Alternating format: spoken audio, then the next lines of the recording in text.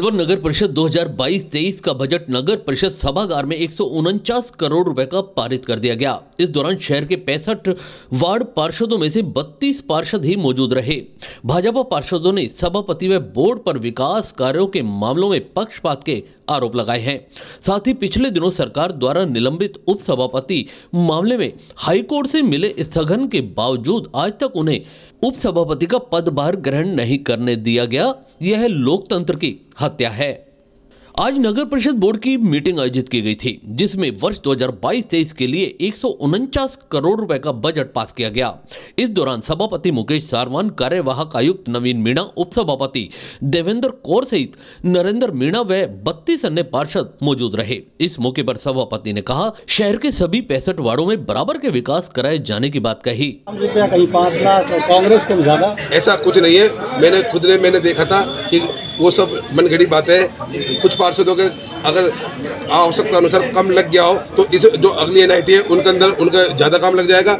जो प्राथमिकता, जिन कामों की पहले थी, मैंने उस काम को पहले प्राथमिकता दी थी। पहली बार ऐसा हुआ, जो पैंसठ के पैंसठ वार्डों में कार नहीं लगा है। ये वाल्मीकि मोहल्लों में क्या कुछ इस बार विशेष बैठ दिया है क्या? ऐसा कुछ- पहली बार ऐसा हुआ तो आपको देना चाहिए। नहीं नहीं ऐसा कुछ नहीं। है वाल्मीकि बस्तियों में वो भी शहर के वार्ड ही। है उनके अंदर भी वाल्मीकि बस्तियों के अंदर भी हम चाहते हैं कि शहर के अंदर वाल्मीकि बस्ती नहीं कोई भी अन्य बस्ती हो सभी के अंदर विकास हो संपूर्ण तरीके से पूर्ण निर्पुतान से विकास हो। ज़्यादा काम करने की ज़रूरत वही है ना। नहीं वो तो है सर। आज वाल्मीकि बस्तियों में भी हमने विकास किए हैं। ऐसा कुछ नहीं सफ़ाई को आप नज़दीक से जानते हैं तो सफ़ाई सबसे बड़ी चुनौती है। अगर सफ़ाई हो जाए तो सफल हो जाएगा आपका प्रोग्राम मैं मीडियम के माध्यम से बताना चाहता हूँ कि आज से दो तीन साल से मेरे भाई हो आप भी चुप बैठे हुए थे। आज छोटे छोटे कचरे की भी फ़ोटो डाल रहे हो। अगर ऐसा ही पहले हो जाता तो मेरे को लगता है आज से दो साल पहले ही शेर साफ़ हो जाता। मैं भी आपसे सहयोग करता हूँ। मेरे पास आज भी एक वीडियो मैं आपको भी दे दूँगा। मैंने सुबह बाइक से खुद मॉनिटरिंग की है। अपने भगत सिंह सर्किल पर, भगत सिंह सर्किल पर 10 बजे जब सफ़ाई कर्मचारी चले गए थे, सफ़ाई कर्मचारी जाने के बाद दुकान वालों ने कचरे को झाड़ू से, मैं आपको वीडियो दूँगा अभी, उसने झाड़ू से निकाल कर शहर के मेन रोड पे कचरे को कुछ इस तरफ़, कुछ इस तरफ़ उठा देता। अगर शहर के अंदर सफ़ाई कर्मचारी एक हज़ार है और गंदगी फैलाने वाले हम जैसे भाई पाँच छः लाके जब तक वो हमारा सहयोग नहीं करेंगे तो शहर में सफ़ाई की व्यवस्था कैसे हो जाएगी? बजट मीटिंग में भाजपा के पार्षद नदारद रहे। भाजपा पार्षदों ने पार्टी कार्यालय पर प्रतिपक्ष नेता सतीश यादव ने नगर परिषद के कांग्रेस के बोर्ड पर पक्षपातपूर्ण विकास कार्य कराने के आरोप लगाए। देखिए, आज नगर परिषद की बोर्ड की बैठक थी। बैठक से पूर्व सभी पार्षदों ने एक बैठक हुई, भारतीय जनता पार्टी कार्यालय पर। उसमें सभी की राय ये आई कि जिस प्रकार से पिछले दिनों हमारे उपसभापति को गलत तरीके से हटा करके और उन्होंने सिर्फ़ और सिर्फ़ लोकतंत्र की हत्या करने का काम किया। अन्यथा उपसभापति का सिर्फ़ पद इसी काम में आता है कि सभापति का किसी कारण से पद रिक्त हो जाए तो उस पद पर उपसभापति विराजमान होते हैं। ये कानून है, नियम है। लेकिन कांग्रेस ने अधर्मता दिखाते हुए 22 दिन तक इस पद पर कोई भी नहीं रहा उप सभापति के पद पर।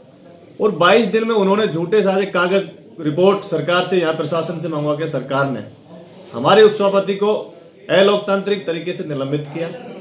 उसका हमारा विरोध था क्योंकि सभापति के पद पर आज भारतीय जनता पार्टी का हमारे घनश्याम गुजर, यहाँ विराजमान होता।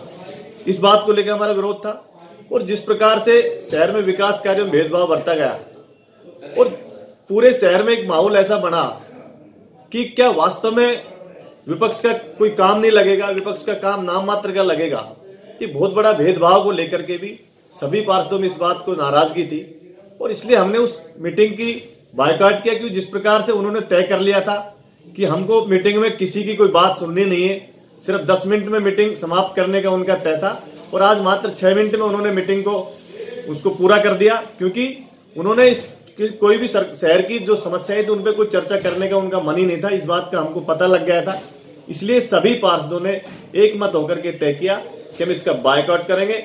हम विरोध कर रहे हैं इस बात का कि सरकार ने हमारे घनश्याम गुजर जी के साथ बिल्कुल अन्याय किया है, इसलिए हम सब इस सभा का हमने बायकआउट किया है।